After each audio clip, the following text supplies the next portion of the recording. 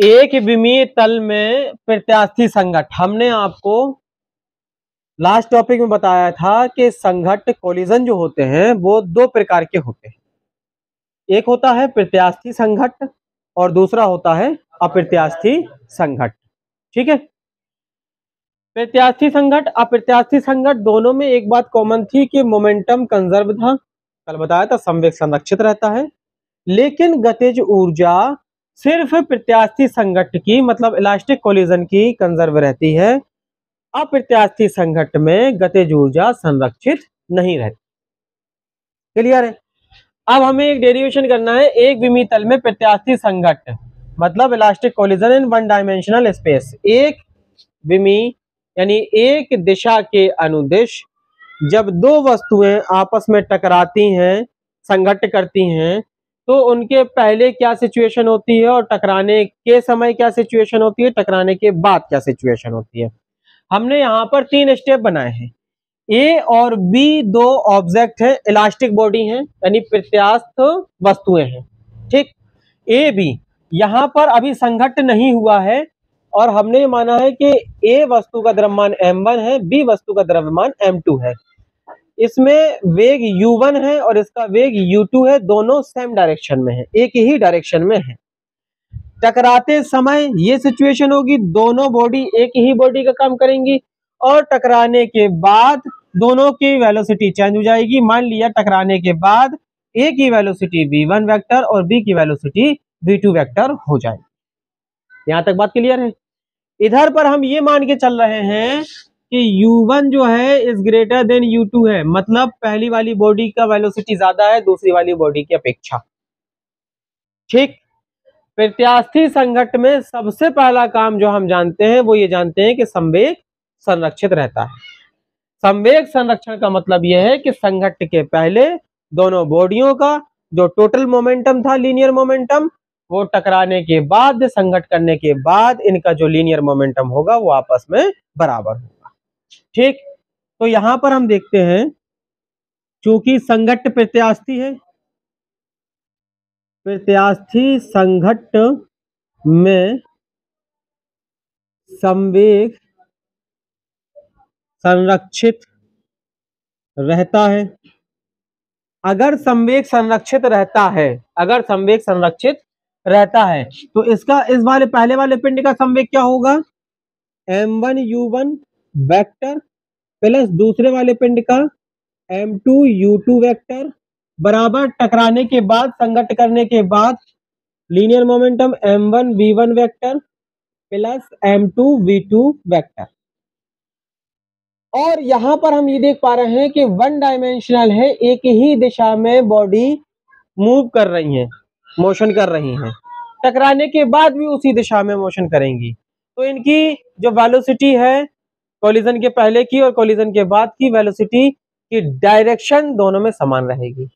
तो हम यहाँ पर वेक्टर न लेकर के इसका केवल मैग्नीट्यूड ही ले सकते हैं, परिमाप अकेला ही लेकर के चल सकते हैं। तो अगर हम यहाँ पर ऐसा भी कर लें, तब भी ठीक है M one U one plus M two U two बराबर M one V one plus M two V two M one M one इसमें है एम वन इसमें है, यहाँ पर हम इसको ट्रांसफ़र कर रहे हैं एम वन कॉमन आएगा, बचेगा U one minus V one यहाँ पर एम टू कॉमन आएगा, अंदर बचेगा वी टू और यहाँ बचेगा माइनस यू टू इक्वेशन एक बना के छोड़ देंगे। यहाँ तक बात क्लियर है? अब हमें ये पता है कि ये इलास्टिक कोलिजन है मतलब गतिज ऊर्जा भी इसकी संरक्षित रहेगी, क्योंकि गतिज ऊर्जा भी संरक्षित है। अगर गतिज ऊर्जा संरक्षित है तो टकराने के पहले दोनों बॉडी की kinetic energy half M U one square plus half यहाँ पर एम वन था सॉरी एम वन और half M two U two square is equal to half M one V one square plus half M two V two square हो जाएगा। एक बटे दो इन दोनों में कॉमन है, एक बटे दो इन दोनों में कॉमन है कॉमन लेके कैंसिल हो जाएगा। यहाँ पर एम वन है, यहाँ पर एम वन है एम वन हम कॉमन ले लेंगे तो बचेगा U one square minus V one square और इस पूरे पार्ट को इस पक्ष में ले जाएँगे तो ये एम टू कॉमन आएगा, यहाँ बचेगा V two square minus U two square ये बना लिया जाएगा, या हम इसको ऐसा भी कर सकते हैं M one U one plus V one और U one minus V one A square minus B square का सूत्र खोल दिया। बराबर M two V two plus U two और V two minus U two equation second बना के छोड़ दिया। इक्वेशन सेकेंड में इक्वेशन फ़र्स्ट से डिवाइड कर दो।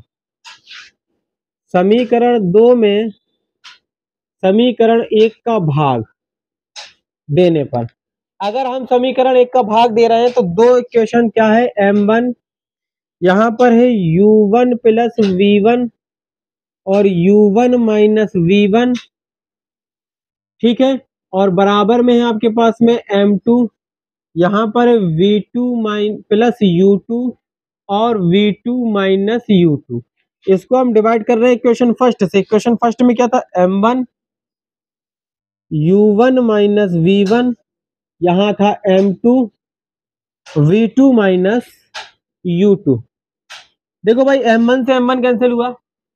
U one minus V one से U one minus V one cancel हुआ। क्या बचा? U one plus V one बराबर यहाँ बचा V two plus U two U two को इस पक्ष में लेकर क्या है तो U one minus U two बराबर में V two minus V one या हम इसको कर सकते हैं U one minus U two is equal to minus V one minus V two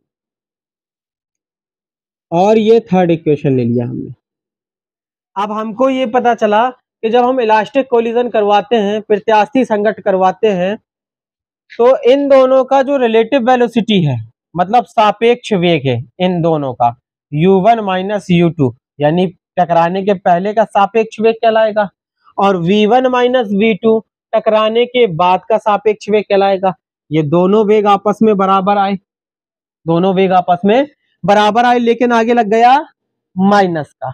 मतलब सापेक्ष वेग टकराने के पहले और टकराने के बाद बराबर तो होते हैं, लेकिन अपोजिट डायरेक्शन में होते हैं, विपरीत दिशा में होते हैं। विपरीत दिशा का मतलब यहाँ पर एक्सचेंज हो जाते हैं। जैसे यहाँ वाला पिंड पहले इसका वेग ज़्यादा था, इसका वेग कम था।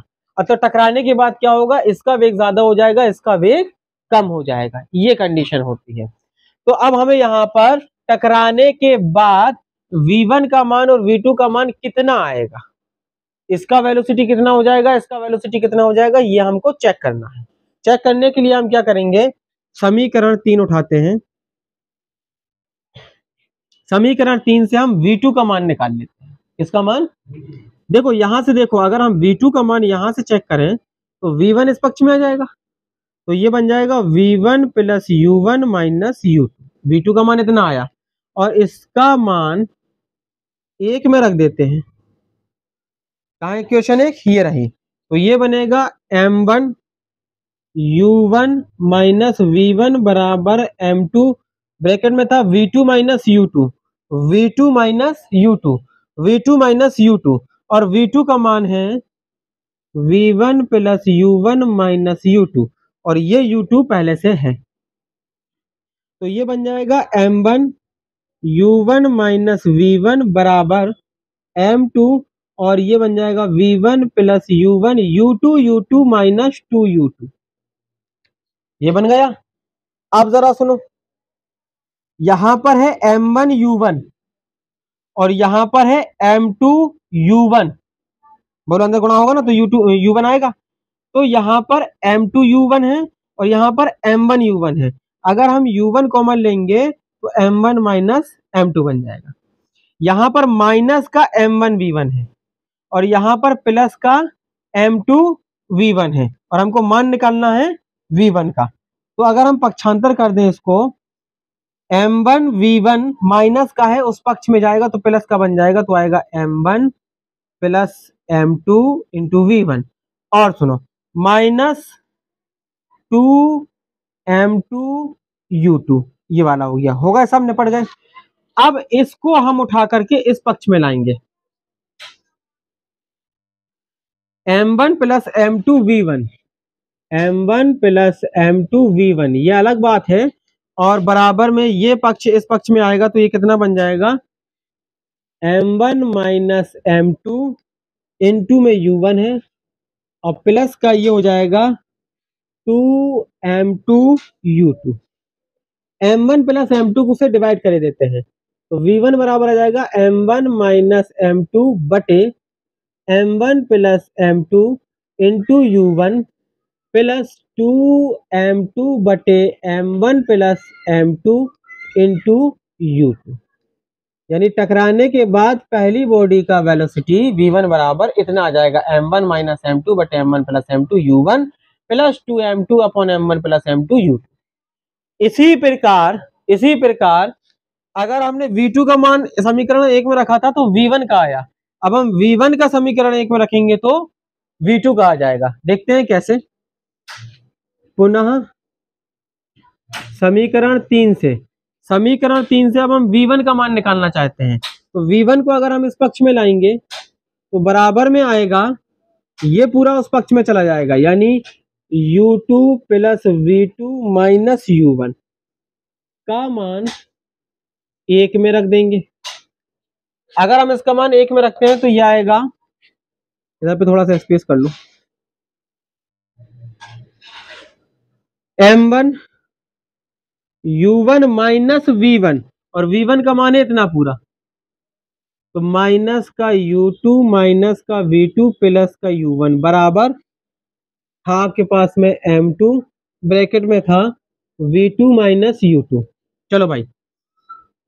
M one U one U one two U one minus U two minus V two बराबर में आएगा M two V two minus U two अब सुनो, हमको वी टू का मान निकालना है। किसका मान निकालना है? वी टू का। यहाँ पर तो आ गया two M one U one और देखो, ये यू टू है। माइनस का है और ये U2 है, ये भी माइनस का है।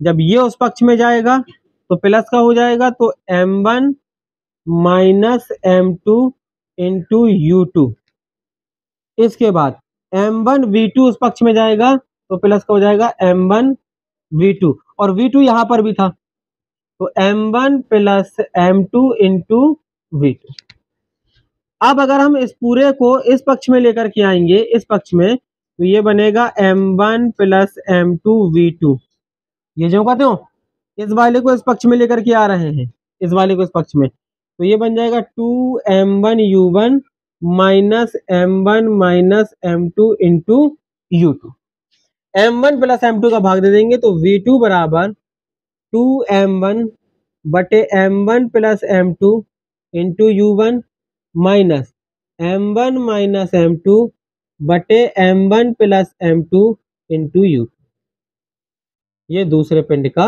वेग निकल करके आ जाएगा।